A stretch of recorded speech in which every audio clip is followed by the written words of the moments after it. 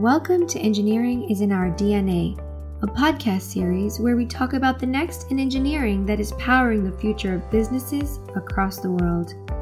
In this episode, we are joined by two gentlemen who lead the Next Ops practice at Mphasis Mr. Rahul Sadashiv, Vice President and Head of Solutions and Consulting, along with Mr. Rajat Gupta, Senior Vice President and Global Delivery Lead.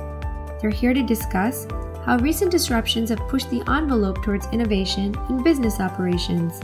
They will look at the role data plays in this and how Mphasis helps its clients navigate these challenging times and deliver client satisfaction. Today, I have the opportunity to speak to our Global Head of Next Ops Services, Rajat Gupta. In this podcast, we will discuss how Mphasis brings together consulting, innovation, and operations to drive value to our customers. Good morning, Rajat. As always, it is a pleasure talking to you. Good morning, Rahul. Likewise. Before we start, Rajat, uh, can you please define next ops to our listeners? Absolutely. Um, so about three to four years back, we re repositioned ourselves as next ops, and it essentially means bringing technology and digital assets in the operations value chain helping our end clients transform their business and meet their objectives. So that's what Next Ops is. Sure, this context really helps, Rajat. I mean, to begin with, uh, you know, what trends do you see dominating Next Ops in the coming years? We'll surely see several industry-specific problems being addressed through, as you said, right, combination of next-gen solutions. So for us, when you look at it, it started with robotic process uh, automation, uh, lean re-engineering, uh, the whole AI cognitive assets, and so on. And as a as a company at Mphasis Next Ops, we've been trying and testing a lot of these solutions uh, in an integrated fashion for some of our key financial services and uh, enterprise clients and I can I can for sure say in the last 12 to 24 months, we've seen great results, great outcomes being kind of delivered. But more importantly, I see this trend exponentially uh, exploding going forward.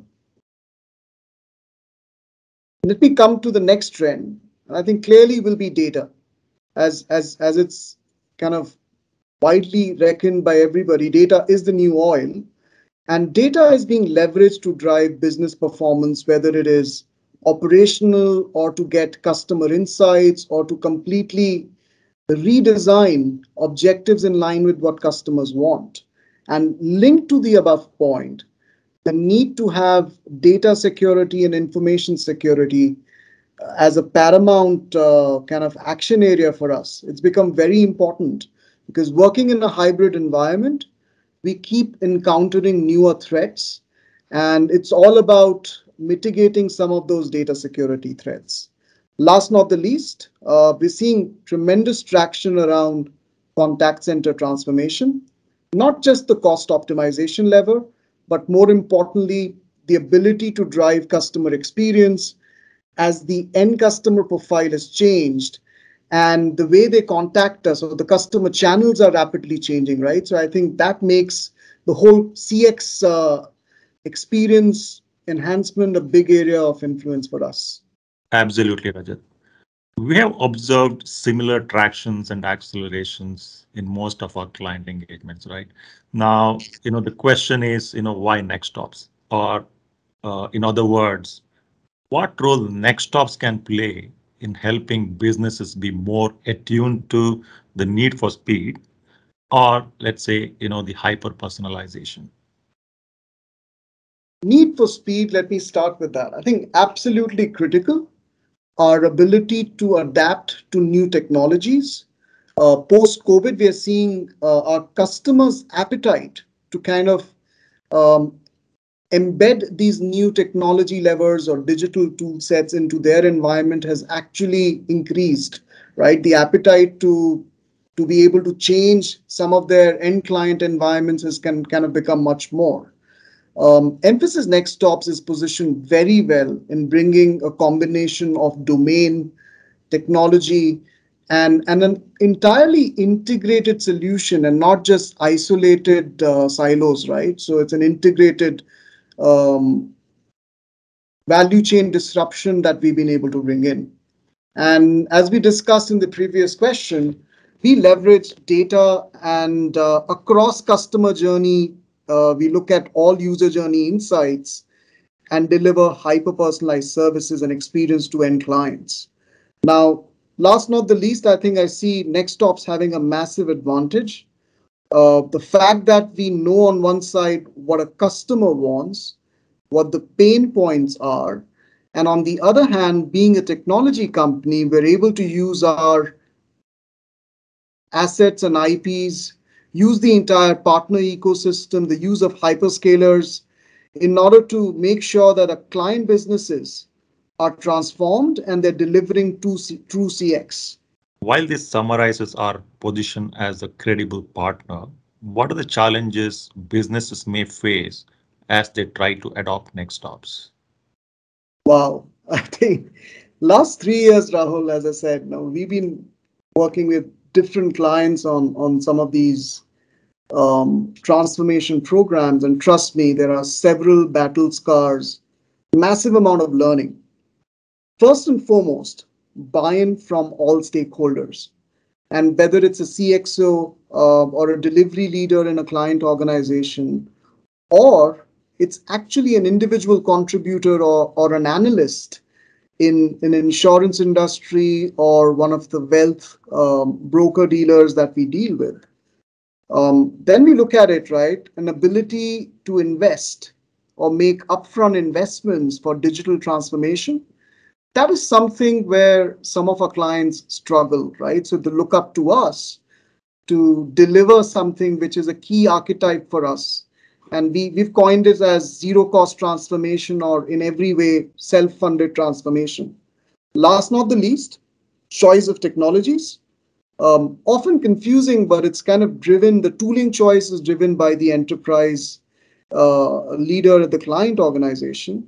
And I think several hyperscalers or BPaaS players in the market or platform players, as we call them, um, have great sales uh, abilities.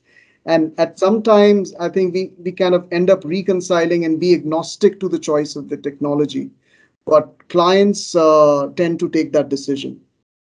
True. Any best practices you can share to address these challenges? I think first and foremost, Mphasis as well as Nextops as as a as a practice team uh, when we win in the marketplace, we've seen a trend around 85 to 90% of our transactions are proactive bids. They're not RFPs. They're not kind of competitive in any nature when we start. So we start with a consultative approach.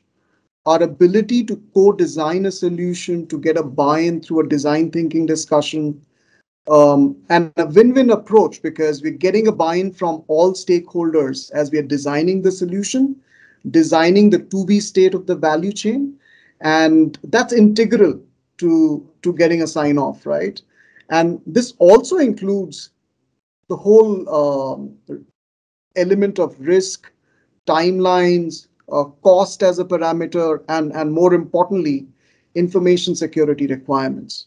Uh, for us in particular, Mphasis zero cost transformation is a game changer. And irrespective of project scale, we have several examples at large financial services or enterprise clients where zero cost transformation has been a massive enabler of transformation and we've been able to flatline spend for the clients, which means able to absorb the upfront bubble cost and still deliver digital transformation and, and kind of uh, meet objectives. Last not the least, as a best practice, it's the accelerated adoption of digital transformation, right? So use cases, uh, we've got sandboxes in the partner ecosystem where we're able to bring in our IPs as well as external IPs in no time and able to demonstrate a model or a proof of concept. And that agility is really helping us win in the market. Now, finally, uh, our mantra, right? Engineering is in our DNA what does engineering is in our DNA mean to you? And how do you see this enabling Mphasis to help clients improve their next gen operations? Great question, Rahul. Um, engineering, to start with, is in our DNA as Mphasis has kind of coined our uh, mantra and clearly at the center of everything we do at NextOps. Uh, what would engineering mean to me as a business leader and a next NextOps delivery head? Uh, frankly, across the ecosystem, across the value chain uh, and our employees, we, we leverage design to solve day-to-day end client business problems and use technology across the app's value chain and meet um, objectives for our end customers.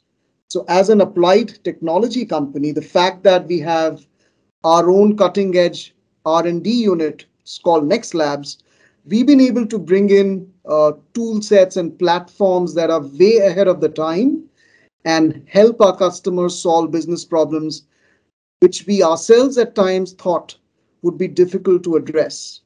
Um, key for any business operations, Rahul, is scalability and re repeatability, right? Hence, a lot of these solutions, when we bring them together, are not point solutions, but tailored um, using design and business transformation frameworks to, to solve problems not for a client or a, a situation that the clients dealing with, but from an industry standpoint. So over the last two years, we've created industry assets, whether it's for wealth management firms or broker dealers or large property and casualty carriers.